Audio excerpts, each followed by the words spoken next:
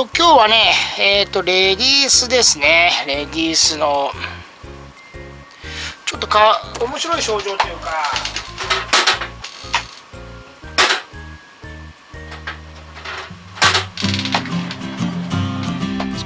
当チャンネルは無職のおっさんが有り余る時間をフルに使い自分の興味に貪欲に取り組むチャンネルです。多趣味道。無職でどれだけその道を突き通せるか破産まで続けるつもりです。今後もいろんな興味そしていろんなことやっていきます。興味がある方チャンネル登録通知ボタンおまけにグッドボタンよろしくお願いします。では行ってみましょう。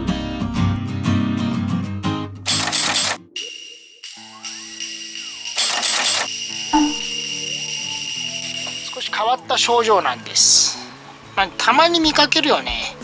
ねじ込みロックをすると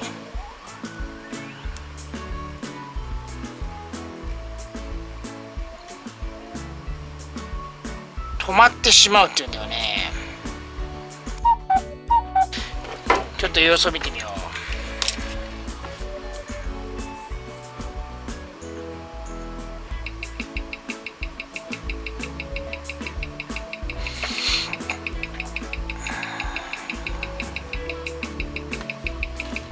うかな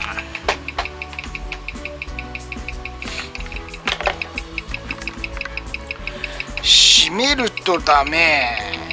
何なんだろうこれは。緩めるとじゃあどうなの？緩め緩めっぱなしにしてみようか。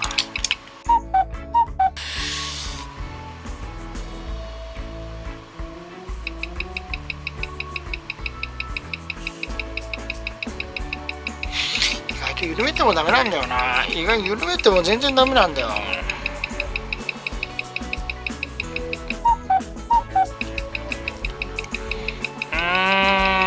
どうしよう。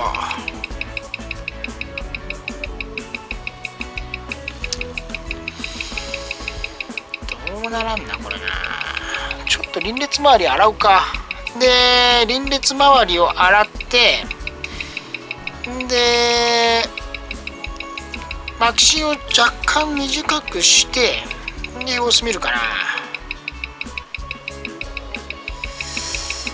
やっぱ数値的に何やってもダメだな。何やってもダメだから輪列周り一回洗おうかな。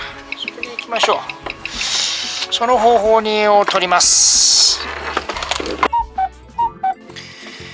えー、っとではねやっていきましょうこれ。うんとそらく止まるっていう締め込みで止まるというのは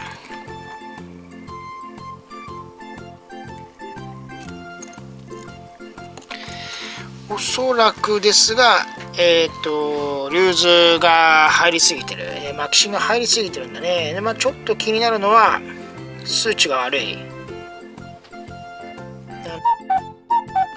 で、これ、ST6 だっけな。これがね、ちょっとね、これが、あれ、ほら。こ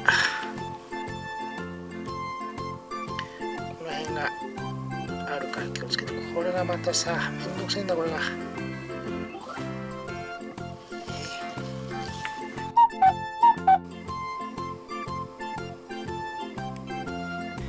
とりあえずまあ脱進機そしてアンクル関係を外してザラ回しできる状態まで持っていきましょうそれでまあ一旦様子を見ることとします常に悪いな。回ったり回らなかったり。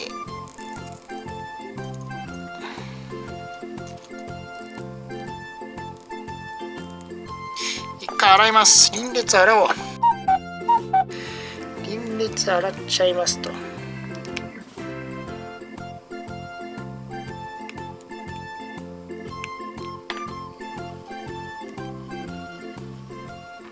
わーすんげえ油。なんか入れたか？油がすごいよ。なんか入れたな。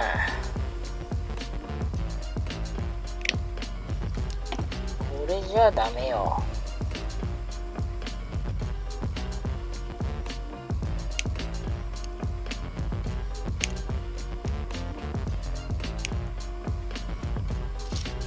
油入れたもしかして。すげえ油入ってるこんな油入ってんの。なんでこんな油入れたんだろう。誰がこれ油入れたんだこれ。もうやめてよ。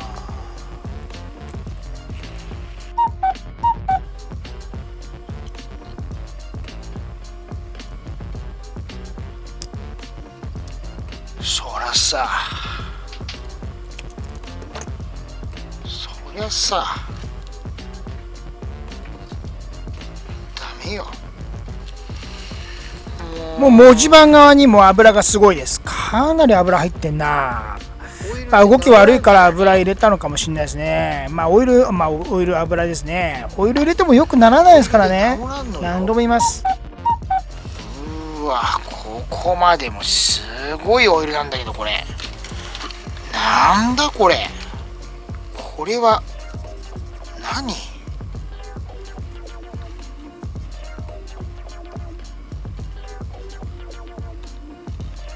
これ何？ひどすぎるこれは。これひどいな。うわうわうわ出てるじゃんこっちに。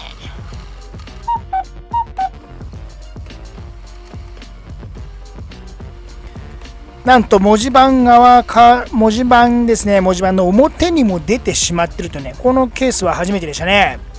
こっち側に出ちゃっちゃもう多すぎるっていうようなレベルじゃないね。もうたらふく入れた感じだね。いや、ひどい。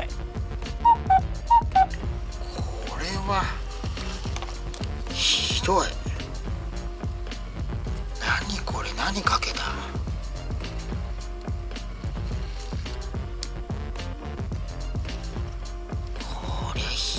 ひでえわ。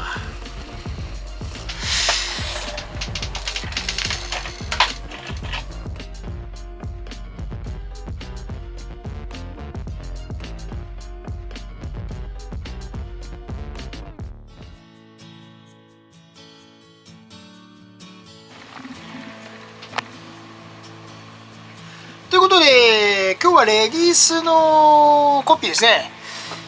でえーとね、ねじ込みロックをすると止まってしまうとかっていう症状だったんですが、特段その症状は出てません。えー、っとね、たまにこういうの症状あるんですよ。ねじ込みロックをすると止まるっていうのがね、けたまにあるんですけど、何かわからないですよね。あの要は、こう、入り込んでしまっていて、で、多分ね、ハックかなんか悪さしてると思うんだよね。そんな感じだと思うんですよ。ハックがなんか悪さしてる。だから、まあまあ、えっ、と、ねじ込みロック、あの巻きをちょっと短くしたりあの先っぽのあのガイドピンのところをちょっと短くしたりとかっていうことをするんですが最悪ね、あのこの場合はこのねじ込みをロックをして止まるという場合どうもできなかったらもうハック外しちゃいます、うん、まあ中華の悪いところですね。中華の悪いところ。ではその症状は出てなくてでどっちにしても悪かったんですよ。ねじ込みロックしても外してもどっちにしても悪くて非常に悪いなと思って。輪列周りオーバーホールしようと思ったらもうオイルまみれ。すごかった。何なんだろうな。オイル入れたなあれな。もうね文字盤側にもオイルが来てたんですよ。でももうこっち側じゃ見えなかったんだよね。でストライプ模様の文字盤にレディースだからもう全然見えなくて、まあ、老眼だから。全然こっちから見えなくて。でまあ蓋開けてみればなんかオイルがすごいんだよね。もうねこのシートの作業台にもねオイルがこうつくぐらいすごくてあれなんだと思ってでばらしていくうちにもうねオイルがもう溜まってるんだよね。溜まってるじゃんと思って拭いてたんだけど、まあ、拭くぐらいじゃもうダメだなっていう風になっててカレンダーディスクこう裏側から見えるんですけどあのゼンマイとか外すと。カレンダーディスクにびっちりあのこれはなんだと思って。で表側も全部外してみたらもうね文字盤なんかオイルまみれ。あらひどいな。レンズにねつかなかった。よくつかなかったなと思って。レンズにオイルがついてればねまたね分解して分かったんでしょうかねしょうけどね。いやーひどかったな。ひどい。あれ動き悪いよ、ね、ザラ回しがもう全くできなかったんですよね。できたりできなかったりいやそれはできないなと思って輪列周りだけ洗ってやろうと思ったけどもこれはもうここまでオイルがひどいものはもう全部洗ってしまわなきゃダメです。要はオーバーホールですね。であんまりやりたくないんだよ。このね ST6 もそうなんだけど中華製のオーバーホールってまあ復活しません。本当に復活しない。何回やったこともあるけど何回もやったことあるけどまあ復活しないですよ。復活しないというかあの数値が出ない。数値がねうまくこうなんていうのかな復活しないのよ。文字通り復活しません、うん、だからあんまりやりたくないよね。やりたくないけどまあ仕方ないよね、新品に変えた方が早いかもしんないけどね。いやーどうだろう。あれに合うのもう探すのが結構さ大変でさまあオーバーホールしてみます。何しろオーバーホールしてみよう。っていう考えです。いや復活しねえだろうな。中華製って本当にね復活しないのよ。あのねオーバーホールしてもね復活しないの何回も言うけど。うん。